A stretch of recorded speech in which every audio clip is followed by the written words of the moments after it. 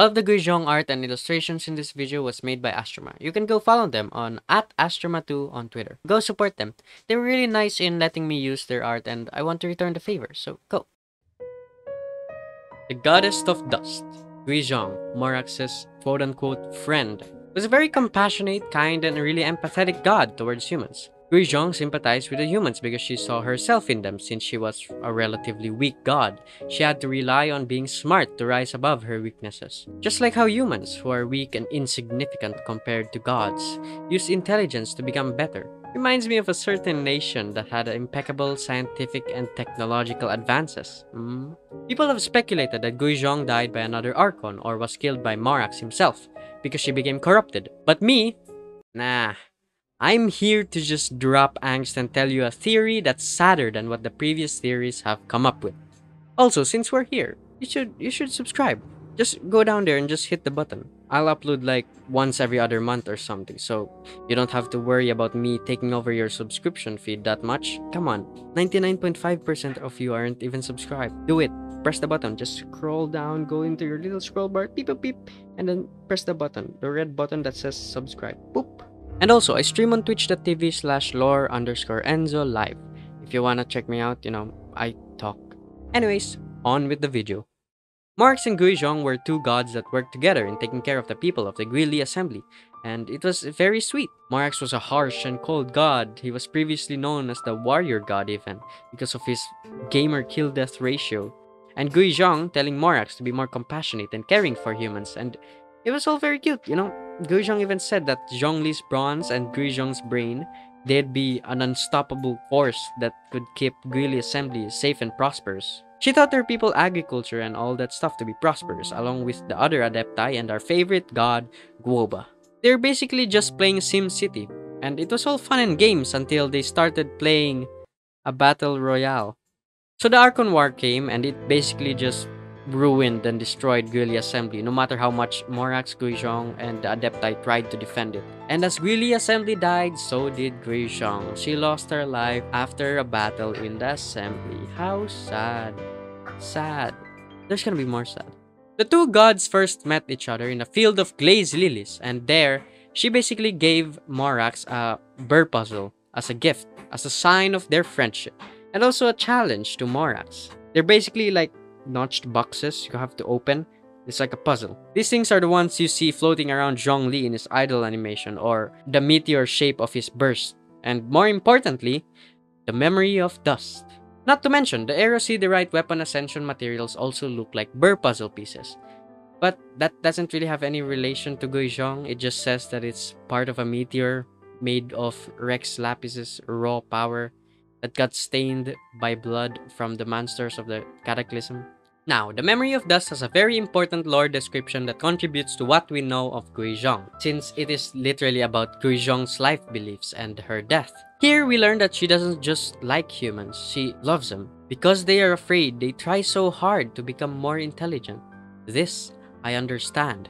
Here, we also learn the last moments of Guizhong. It says that her final smile was a lonely one, and she tells Morax to forget about the puzzle piece she challenged him to solve, which is really sad. So after I cried, I thought, huh, why did she tell him to forget about it? Why did she have a lonely smile even though Morax was by her side? Well, those are the questions that I want to answer speculatively on, because I think that Morax healed Guizhong not because Guizhong got corrupted, as many people believed, but because Guizhong did something that made Morax have to kill her. Guizhong is a very smart goddess. She even created a Guizhong ballista that could make a significant damage towards powerful beings like Osial. But how did she create this ballista?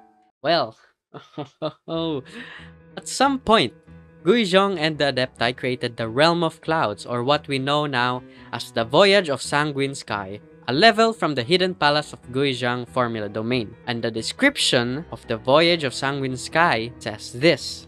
This is the Realm of Clouds. Guizhong, its former ruler, acquired several ancient and evil artifacts during her research into mechanics. The Adepti created this realm to contain them. And to add to this, in the domain we fight two ruin guards and one ruin hunter. So she actually is researching this ancient Khaenri'ah technology. And it's not only the technology she's meddling with. No, she's meddling with Khaenri'ah artifacts and not just technology. Maybe she wanted to understand how a nation with no god prospered. Maybe her lust for knowledge was just unstoppable. Or is it something else? Like, I don't know, understanding her power more?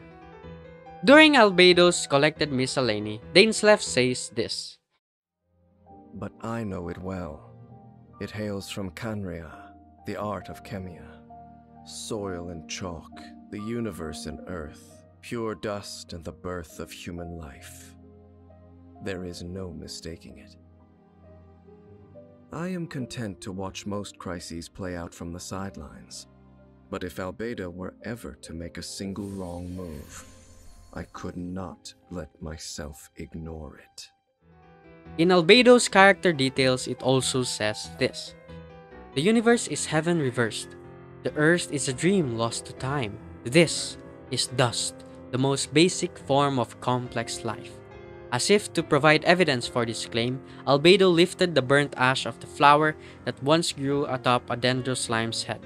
Seconds later, a Cecilia sprouted forth from the ash in his hands. And this is new birth. This all talks about the art of Khemia, an advanced type of alchemy that focuses more on the creation of life itself. Gold, Rhinedottir, and Albedo are the three characters we know of that practice Khemia.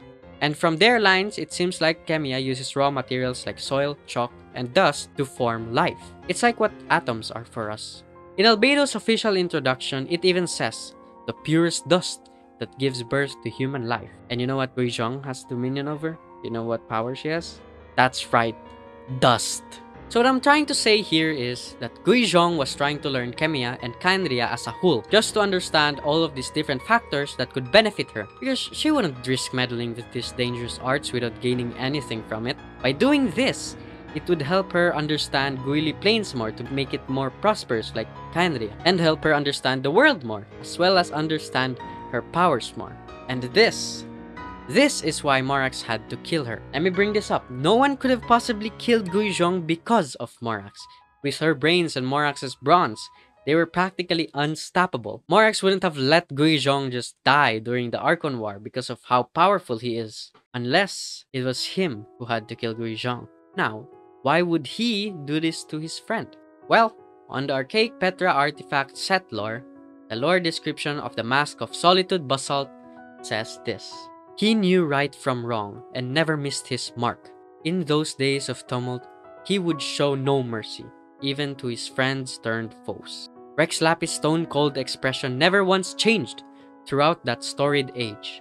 They say that only when the dust settled did he lay down that unmovable visage. But it had been necessary, for he had donned it to fulfill a contract. What is this contract? Maybe this contract is about going against Khaenri'ah and or the art of Khemia itself? And who is this contract with? Celestia? The more powerful gods? Who knows? But this contract surely was the reason that made Morax have to kill Guizhong. Because of the line, when the dust has settled. Like, it's probably a nod to Guizhong. Dust.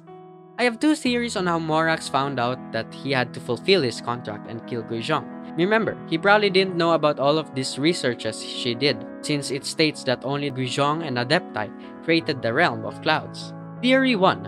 Another god stepped in to remind Morax about his contract after this god found out about it. Or Theory 2.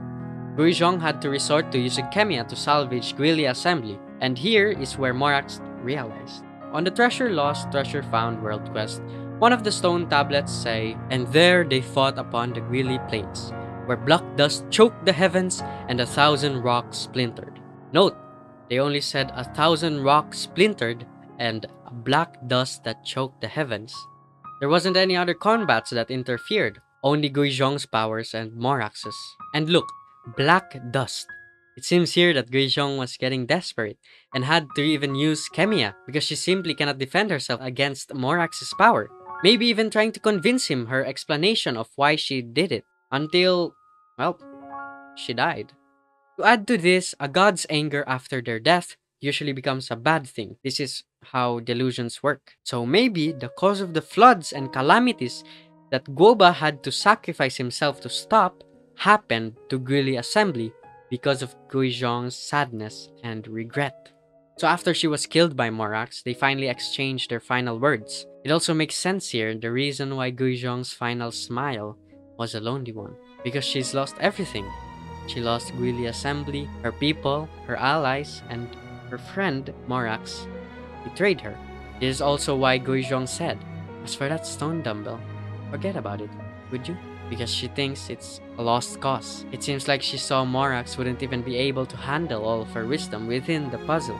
And maybe this was the reason why, after years, millennia even, he still hasn't been able to solve it at all. In his millions of attempts, he never got it solved.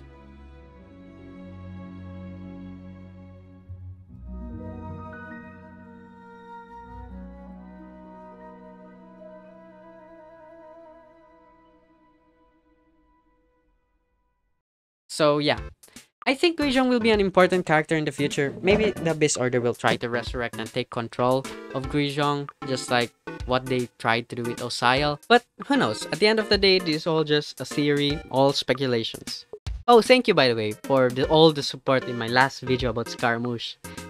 Even though it had so many copyright strikes there, you know, I just had to use it. It wouldn't have been a good video if I didn't use Bohemian Rhapsody. Like, it, it would have just been plain and bland. I saw all of your comments and feedbacks on the video and they were very wholesome. Even you, the guy who is watching me talk right now. I really appreciate it. Thank you for giving me the time of your day. The artist who made these illustrations again is Astruma2 on Twitter, so I really want you to check them out because like holy shit they even made comics and crap so i really recommend you to go and follow them and support them because i really want to see more good art like this like especially since they go the extra mile as to create stories and lore behind their art. So you, you know I, I just i just love like go support this kind of art all right go go support them now. Follow like i don't know donate to them or whatever. So go support them. All right i'ma head out